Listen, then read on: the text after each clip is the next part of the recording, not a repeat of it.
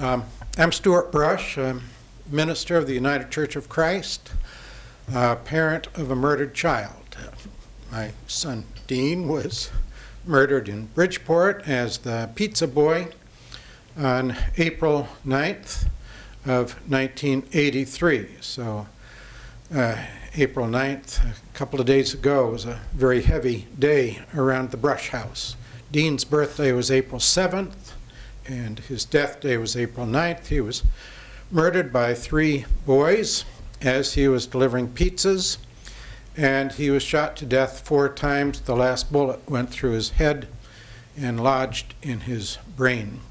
I have always uh, believed in the death penalty, um, not necessarily as a result of Dean's murder, but as a result of uh, looking at the different resources of life and figuring things out and what would be best uh, for society to uh, handle this kind of a situation.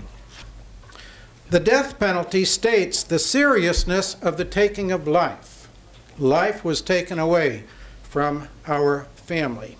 In removing the death penalty, the implication is that murder, in not receiving the capital penalty, even though we paid the capital price in our family, if we're not going to expect the capital penalty, if we're not going to give that as a judgment, whether or not the sentence is carried out, if we're not going to give that as the judgment, then Dean's life was of less than capital importance. And I don't buy that. And I don't think you do either.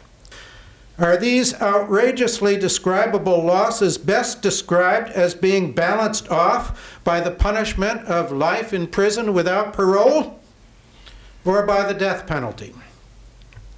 Even if the death penalty is seldom or even never used, at least let's call murder murder. Let's at least call the taking of life by its right name. Let's tell the murderer that, come what may, for the taking of life, death is what you deserve.